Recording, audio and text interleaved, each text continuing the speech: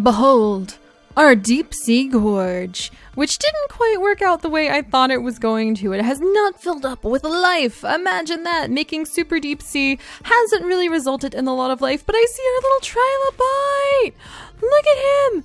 Oh, he's so cute. Oh, Trevor. Trevor, how are you? Trevor the trilobite. Oh my gosh, I'm so attached to him, especially because he is one of the most complex life forms that we have managed to create here in birthdays the beginning so far. So welcome back everyone, and I realize I made a big flub when I thought that uh, removing a whole bunch of the land was actually going to give us ferns. It actually ended up cooling off a lot of the planet, or like warming up a lot of the planet, not making it cooler. And we are currently working on trying to add, add in the Bara fern, shorthand for Bara, or like Bara Wakatia, and I'm just going to call it the Bara fern. It needs to have water temperatures at least 41 degrees Celsius, so actually a lot colder than what we currently have. There needs to be a lot of lowland, the moisture needs to be high, and there need to be a minimum of 6,000 of the Calunia, which are the seaweeds that we're working with. So I actually have to raise up a bunch of the, the water now and make the land different. I thought for some reason that making some deep sea would help me, and it has actually done the opposite of what I was aiming for. So we're going to raise up a few places, try to make sure that we've got some nice little lowlands coming through. I think we may raise up this mountain range that we've been playing with and turn it back into like lowlands instead of shallows. And hopefully that will actually increase the temperature on the planet too. And we're keeping an eye on those Calunia and hoping that we can get their populations up a little bit. Because I truly did not mean to put them at such risk, but this is a lot harder than I thought it would be. Instead of just kind of stepping back and watching as everything evolves at its own pace, and we end up having a lot of um a lot of interesting like spread of different species. What actually happens in this game is that you tend to focus on meeting the puzzle pieces, trying to get the conditions. There's a lot of adaptability. Like there's a lot that you can do for yourself in determining how you want things to look. But for the most part, you're actually trying to fit out these like puzzle pieces of how to get everything lined up. So it's not exactly the sort of free form change something, step back, and just see how it goes like I thought it would be. But that's okay because I'm still having a great time. I just have to figure out the puzzle part of it. Alright, so we're gonna get some lowland over here. And I'm hoping that this will like cool the planet off a little bit to have some more lowlands spread through the area. And we're gonna see if that helps out. Because this is this is getting kind of tricky for me. Alright. And we're also, in just a little bit here, going to try using, come on Kalunia! come on, let's get your population up, up, up, instead of down, down, down. Um, let's see. Oh, the Calunia is really struggling. It's only meeting about half the amount that we actually need. The air temperature is around 56 Celsius, and we actually, 54 Celsius. I need to figure out how to make it go down a little bit. So I think we need to spread how much water we actually have, or spread how much land we have around the area. Uh, temperature is going up now. I need temperature to go down. If I add in more water, will that make it go colder? Huh, temperature is going up. It was colder before. I think I need it colder? It's so tricky, you guys! I think one of the things we're actually going to do is try out using our seed of evolution that we have. Um, and actually, I do think it's getting warmer again. So maybe I'm doing the opposite of what I needed. I was on the right path with cooling the planet off. Alright, let's try this again. We need lowlands. But let's try lowering some of this little mountain range. And then I'm going to see if this is going to cool the planet off. So this is my test on the amount of land.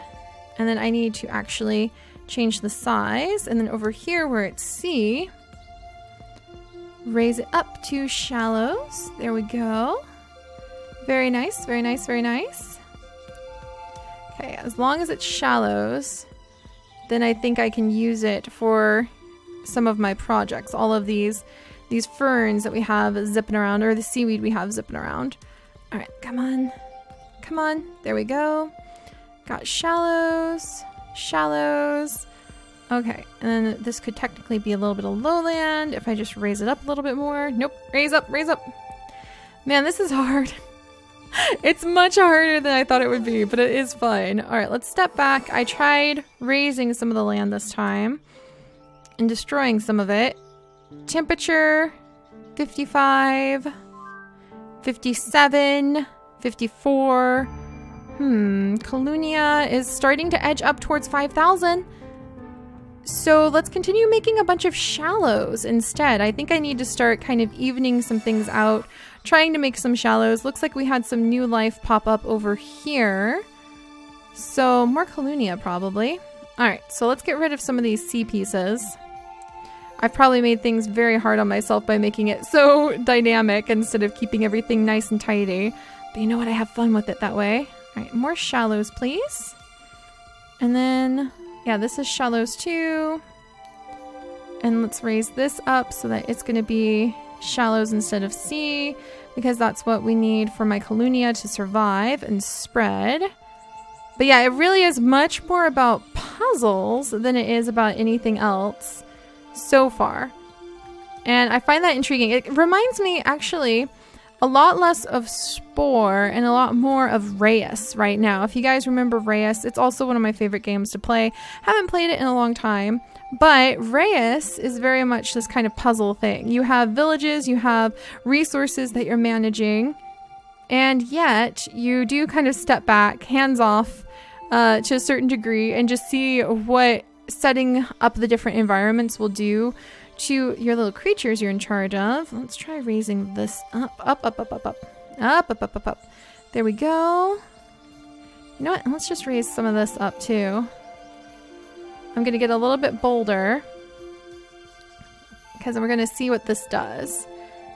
Maybe we need more land overall to be able Alright, and if this doesn't work, then I'm just going to use our little seed of evolution and our other things on... And maybe I should make like a land bridge here. There we go. Wow, it's so pretty, but it definitely is a gigantic mess, and I don't really know what I've done. Alright. Alright, Colonia, come on, Colonia. No, don't drop by the thousands! Oh boy. Alright, come on, Colonia. Come on. All right, we have a lot of stromolites, but everything else is dipping down. Colonia is really struggling. oh my goodness. Oh, their population dropped by like a thousand from what I had had it at. Uh, is it because of all of these? Hmm. We have more stromolites spreading. I thought the Colonia would like all of the shallows I've made, but are the shallows not warm enough for them? Um, hmm. And how to make it warmer. This is so much harder than it looked. All right, let's see. Uh, we're going to go into the library again. And I'm going to check. The Colonia needs anywhere from 53 Celsius. So that's what we have to have in order to have more of them pop in. 43 to 53. And they can survive up to 63, I think. So, hmm. All right. So 53, huh? Is the, the kind of top end. So how do I cool off the water? That's what I need to do. I need to make the planet colder.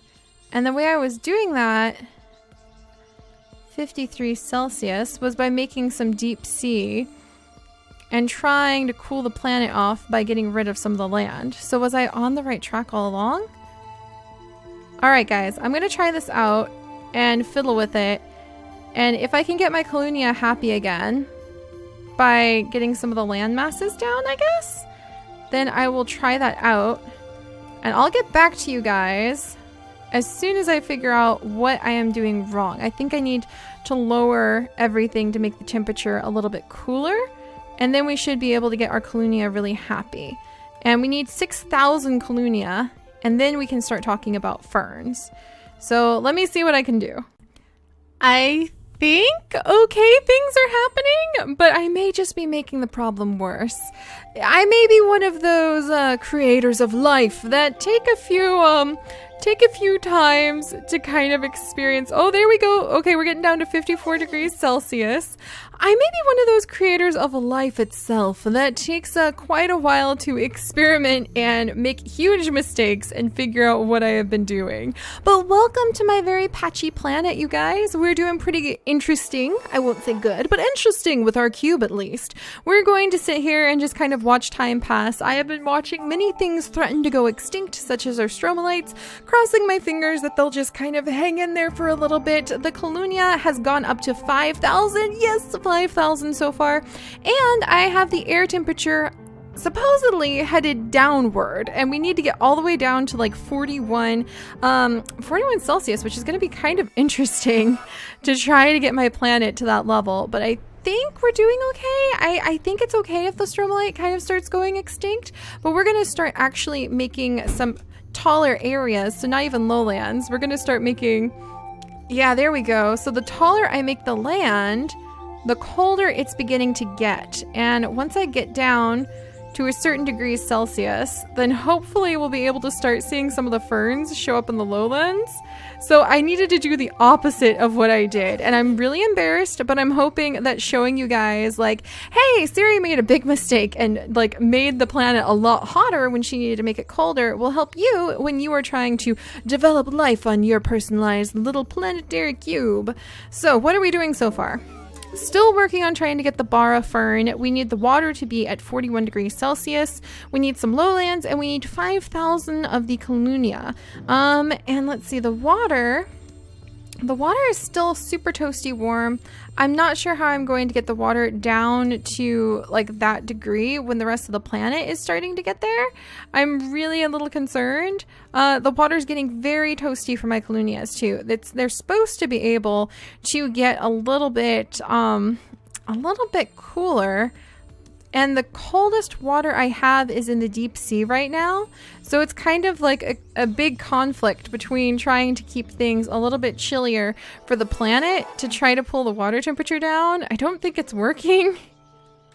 so again, I may be doing completely the opposite of what I'm supposed to do, but the colonia is starting to spread. Eh, we're almost at 5,000. So I'm kind of hoping if I just keep an eye on it, can I hit 6,000 colonia? Oh, I did it! I hit 6,000 Colonia!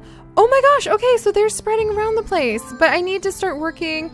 The air temperature is going down. The stromolites are really struggling. Come on, Colonia. All right, the Colonia population is kind of zipping all over the place. Let's jump onto the planet. Oh boy. And we have the Seed of Mutation.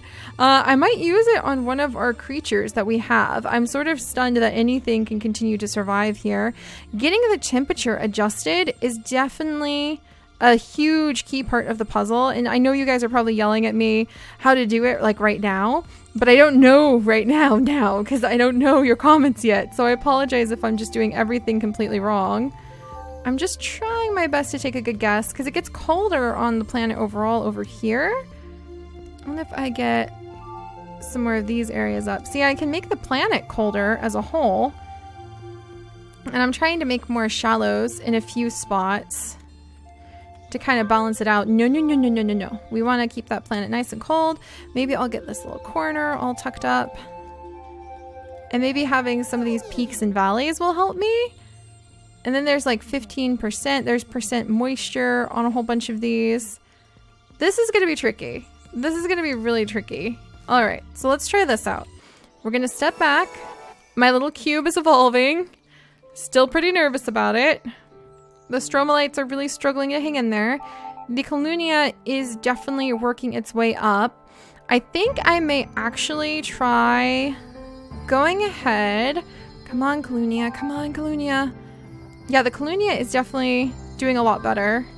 Oh, everybody's happy for just a second. Huh. And maybe I should try. I mean, the water temperature is just not going down. The the easiest I've gotten the water temperature down is when I made a deep sea, but I've not been able to get it down. Water 41 degrees Celsius. Lowlands and moisture. Is it going to get cooler if I raise up? Do I need a lot of shallows? Like everything needs to be shallows? Is that what it's telling me? Nothing can be sea? All right, raise it up. Raise it up. Getting rid of all of the sea. That seems to be helping, actually. Alright, up we go, up we go. Hopefully the jellyfish doesn't mind. My beautiful little... My beautiful little valley that I made. My deep cavern, my chasm. It may have spelled my doom when it comes to trying to get... Uh, trying to get this working. Alright, so I'm out of energy again. Let's see if that does something. We are really changing the environment a ton. I'm really tempted. Alright, come on, Clunia. The Clunia is staying strong at 7,000 or 6,000. Come on. Is the, the water temperature going down at all? The Clunia population is still zipping along. Woo, look at that. And then we have like these huge jumps in population with our jellyfish. Whoa! And everybody was happy for just a moment there. I have no idea. All right. I think what we're going to do is we are going to go ahead and use our little evolution trick. Yeah, look at this. The water is still super warm. This is toasty toasty. This is not quite what I'm going for. I want something a lot cooler with the water temperature. And I can't seem to figure out how to make that happen. So, hmm, maybe it's because I just have way too many, way too many like big areas and I needed to have a lot more lowlands. In fact, maybe that's it. Maybe my awesome little peaks and valleys are actually what have ruined everything because it said big wide open areas that are pretty even are one of the best things you can do for creating new life. And then I just went and make like all these peaks instead. Whoa, look how deep this one is. I mean, look at this nonsense.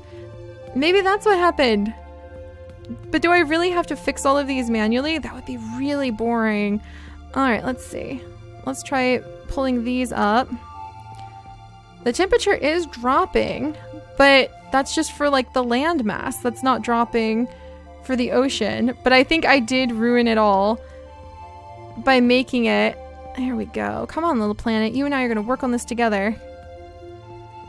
Let's see what happens if I just systematically raise up the landmass. It's very interesting because it says that the temperature is going to continue dropping. Alright, and there's my little trilobite. This is my last attempt to stabilize some things and get them moving and grooving. Alright, there we go. There we go. Does the water stay warmer if the ocean is deeper? Hmm. And we'll pull this up right over here. What do you think about that planet, huh? Do you think that's pretty cool? Do you want to do you want to communicate a little bit more? Well, I guess we communicate through everything living or dying on this planet. All right, maybe if I line these up, that'll work out better? What do you think? What do you think? I'll make it a nice, boring little square cube thing for you.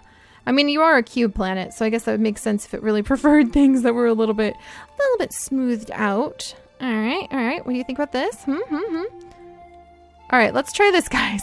And if this doesn't work, then I'm just going to go ahead and use the mutation gene on the trilobite and see what happens, because I think that would be kind of cool. All right, and there we go.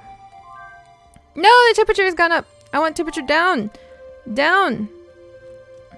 So I'm going to come along here and raise it. There. All right, so I think like this kind of tedious puzzle piecey up, down, up, down, up, down is actually part of what I'm supposed to do. And it doesn't have to be tedious if I could just learn how to do this correctly. All right, sorry, jellyfish. I'm going to have to raise this up. No offense meant. I just have to get rid of like the deep parts. So don't make deep parts, guys. That's the, the bottom line. All right, let's try this again, guys. Yes! Yes! Did you see that? It became colder. Good. I need that. I think. Maybe. Alright, there we go. There we go. Let's see what that is going to do. If I speed up for a minute, will anything good happen or did I ruin everything forever? Alright, the Clunia is still pretty happy about life. It's going up in the 8,000s. 8,000s. And the air temperature is dropping. Does that mean the water temperature is going to start dropping too? The Stromatolites are really struggling. Alright, regaining my energy. But the Clunia is very happy. Alright, so let's dive in. Tell me all about it, little Navi. Water temperature needs to be 41 Celsius, moisture 15%. Really? What does it mean by 36 Celsius? Does that mean it's going to get that cold here? If I need more moisture, does that mean I just have to like drop this right here? Does that alter the moisture right next to it? It should, if you ask me. Huh. All right. Well, let's go ahead and I'm actually going to, uh, now made it warmer. I'm going to evolve this trilobite. I feel like we have earned the right to do something pretty fun and awesome. And I think that I have ruined things, making it as varied as I did from the get go. And I'm just going to go ahead and we're going to have fun with my little trilobite friend. Look at him zip along. Isn't he just the best? And we're going to go ahead and use a special item on him in order to evolve him. So let's let's go over him. That's the C. Where's my little trilobite? There you are. Trevor, Trevor, come back. All right, there's Trevor. And, okay, come here, Trevor. All right, and we're going to use Seed of Evolution on Trevor. Dun, dun, dun. And I'm also going to try, since I have multiple, let's use the Seed of Evolution on this little thing too. And then hopefully that'll do something. So we kind of cheated the evolution, but let's see what happens. Yes! I have new things! Finally, you've birthed the Bara from the Bara. Yeah, just capture it and you're home free. Until then, you're free to do as you please. Just capture it when you're ready. Alright. So this is goodbye then. What? Oh, nothing. Now, go on, go on. Alright, well, you know what? I, I've enjoyed my time on this cube, but I have definitely messed things up. So let's dive in and figure out what I have done new. Apparently there's something hiding in this little shallow spot somewhere over here. I have made a big mess of this whole area. I'm pretty proud about it. my very first fern! Oh. Oh, actually, it may be very confusing. It may be perplexing at times, even frustrating. But seeing this, seeing this makes it almost all worth it. I can't believe I have my very first little fern. And I also can't believe I can't get rid of the red flashing cursor just to be able to admire my plant for half a second. Oh, there we go. Oh, you guys. I am one happy Seri. I have my first plant. My first land-based plant! Yes! Alright, let's go ahead and capture it. Poor little thing. I have no idea how on earth I was supposed to make that happen. Uh, birth temperature 36 Celsius to 46 Celsius. Yeah, I needed to make it a lot colder, it seems and birth moisture 12 to 88%, so it needed to be a lot wetter and a lot colder. I'm gonna have to remember that next time. A plant that grows on land. As Colonia and Medusa proliferated throughout the sea, this species began to adopt on land. Alright, so we got that guy. You did it! Mission complete. Our time together was brief, but I'm grateful to you. I couldn't have done this on my own. Now go back to your world. What if I wanted to see my other creation? The cube is born! Well, goodness. Yay, I didn't know I was being ranked. All right, I think I learned something. Free play mode is now available. Pretty tempted to go play in free play mode, but at least we have completed that. Is this all a dream? No, it can't be. After all, I'm in a cave right now. Also, we're back to this very confusing thing that's kind of amusing. I should hurry home, I thought as I followed the light, but when I stepped outside, I couldn't believe my eyes. The trees before me resembled thick ferns and were clearly from the trees I had walked by previously. Uh, different. Ha what's going on? Have I been taken to another world? Trust an alien to land you in the wrong spot. This plant looks just as green as any other and just chucks the poor human out. Perhaps I should take a look around. Alright guys, something tells me that this is future Dino Land, which is very exciting! Is that the place I just made? Oh gosh, I'm gonna have to remember that we can kind of make um we can make some interesting effects, so I need to be a little bit more delicate with how we organize our planet. I thought I was free from my past mistakes, but no, there they are before me, with a wide open plain to add even more to them. So it looks like we are going to be jumping from here onto adding in more ferns and possibly even adding in more dinosaurs. Hopefully I can keep our tiny little patch of Barawakintia alive long enough to be able to uh, survive, since I need to lower the temperature still. But I'm hopeful, I'm hopeful, and I think that this is going to be a challenging game to try to tackle, and I, we may have a lot of fun with freeform mode pretty soon. So, I'll see you guys next time. Bye-bye!